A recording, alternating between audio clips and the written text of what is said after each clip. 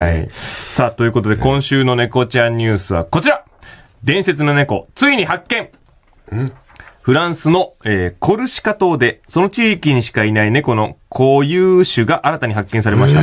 えーその名も、キツネ猫。常ね。最大の特徴は、先端に黒く輪っか状の模様があるふさふさの尻尾。はい。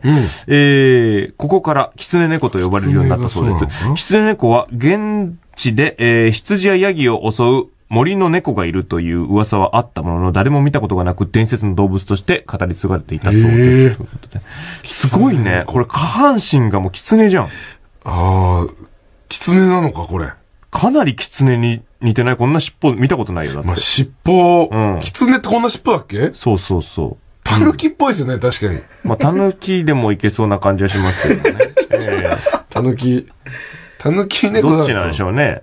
上半身が猫で、下半身がキツネなのか、狐なのか。下半身がタヌキなのかね。タヌキで。タヌキ猫でもいいですけどもね。ドラえもんですけどね、完全に。そうなるともう。タヌキツネでもいいですし、言われてええタヌキツネでもいいですし。はい？タヌキツネだとダメですよね。タヌキツネだと、猫ちゃんニュースではないです。全く。そのフ、ランス動物ニュースになりますか？ら、ただの。揚げと、お揚げと、うん。あの、かき揚げを乗せた、タヌキツネでもいいですしね。そんな注文ですか？そのタヌキツネはい、メニューにしないでください。ねいや、それ、常連だけが頼める。両方乗ってるタヌキツネね。違う。その、キツネ猫ですから。ら。あそうですか。キツネ猫ですね。ええこんなのはでも見たことないのねやっぱねいいじゃないですか。コルシカ島うんね。うん。上半身がうん。大きい猫で、下半身が小さい猫の変な猫でもいいですし。ただの猫、ただの猫ですから変な猫。です上半身が育ったはい、ただの猫ですねえ。ですから別にそれはもう、いいです、その辺の話は。上半身が、はい。上半身が、くたくたの猫で、下半身が上等な猫の、変な猫でもいいですし。猫じゃない、別に、そういう猫、そういう猫なだけですからはい、それは別にコルシカ島に限らず、そう世界中にいる可能性はあります、そういう猫は。そんの辺の別に大丈夫です。そうですかその辺上半身、下半身分けるやつはええ。結構です。はい。もうだい、上半身が、上半身がはい。普通の猫で、はい。下半身もはい。普通の普通の猫ですね、岩井さん。普通の猫なんです普通。の猫の、普通の猫でやめてください、そんなに時間使うの。普通の猫です、それ。サルさん。はい。時間使うのとか言わない。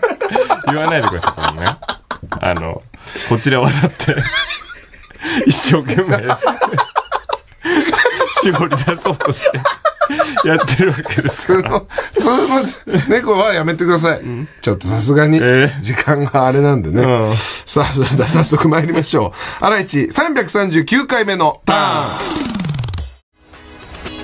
改めまして、こんばんは、ハライチの岩井ゆきです。サービューです。うん。まあ、ダイナミックなターンもそうですしね。この時期は、えーいろんなこう番組始まったり、はい終わったり、いろいろありますからね。えなんか、ありますか？今後やってみたい仕事みたいなのは。ー、私はもうずっと言ってますけどね。はい。あ、言ってるのある、はい。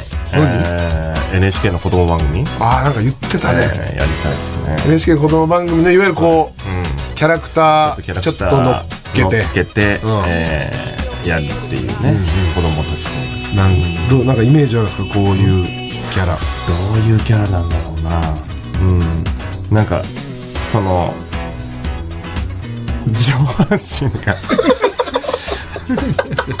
いつまで言ってんだよ、こいつ。上半身が。上半身が、うえー、えー、ケムクジャラの猫で、ん。上半身がケムクジャラの猫で。うん。う下半身が、ん。うん。えー、ロボット。ちょっと、そなんですか？上半身がケムクジャラの猫で、下半身がロボット。です。上半身が、はい。何言ってんですかずっじゃと。はい。あ、上半身が、は 上半身が猫でい。、はい。下半身が元気な猫。猫じゃない下半身が元気になっちゃってる猫。下半身が元気になっちゃってる猫、はい発情期というかちょっと、え下半身が元気になっちゃってる猫そうですね言いてるでしょ？無理です、それ。上半身が猫で、はい下半身が元気になっちゃってるそれ猫。、それは元気になっちゃってる猫ですから。ただの元気になっちゃってる猫ですから。それ本当に時間使わないでください。時間使わないでください。そんなことでそんな。澤部さんあるんですか？困ります。私はもう一つもございません。番 よくやってられますね、来たものをしっかりこなす。澤部さんってよくやってられ。忠実に与えられた仕事を、目の前の仕事、うん目の前のスタッフさんが喜んでくれるように頑張る。何でもやりますんで、お待ちしております。すすごいね。偉いよ。はい。